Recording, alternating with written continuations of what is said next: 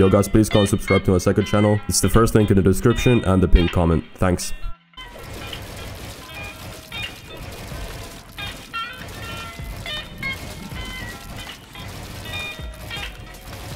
On the track. Right, yo, what's up everyone, it's your boy BH Dymbz and welcome to a new video. In today's video, I want to show you guys how you can improve your edit speed and be the fastest editor you just can. I've done two of these videos before and you guys have been loving them. In this video though, I have tips that I have never talked about before and tips that I just recently learned. If you could hit 1000 likes for this video, that'd be highly appreciated. And of course, if you're new, make sure you hit that subscribe button with notice on so you don't miss an upload. So yeah, now let's get into the video. If you've seen my videos before, you know that I've always played on this high rise KontrolFreek. But what I did yesterday is I switched to the low rise one. I instantly realized that I'm a way faster editor with the lower KontrolFreek. The lower one, smaller movements are just so much easier. I've only been playing on this for like a day and I'm already way faster at editing.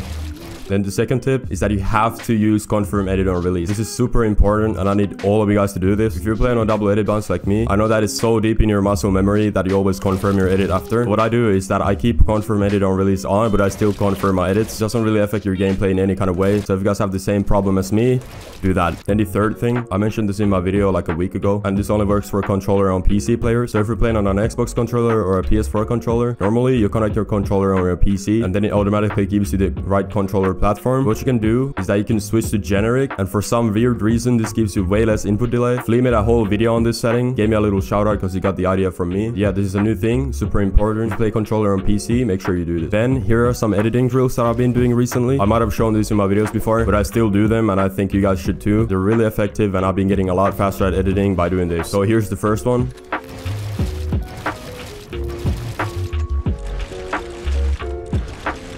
As you guys can see, it's really simple, yet super effective. I recommend you guys practicing that every day, and I guarantee you, you will become a faster editor. Also, this editing drill has been helping me a lot recently, so yeah, check it out.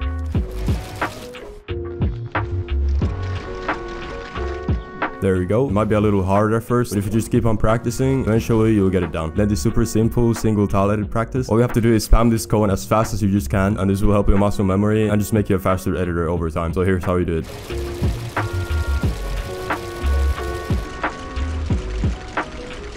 Then last but not least, is practice your wall edits. How I usually like to practice my wall edits. I get on top of a cone, place a wall, and then just start spam editing it.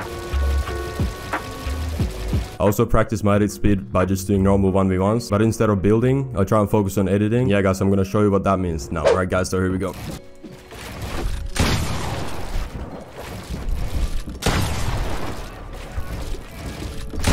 No, I couldn't see him.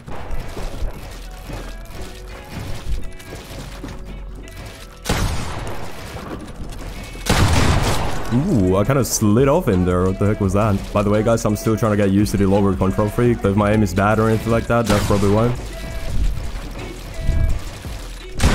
Ooh, I didn't know he was there, but I mean, I'll take that.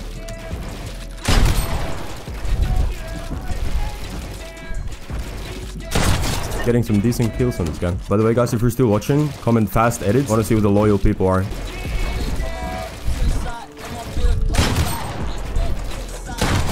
Alright guys, so that's gonna be it for this video. Also, don't forget the like call, which is 1000. And yeah, I mean, that's it. It's been about Dymbz. See you in my next video. Bye.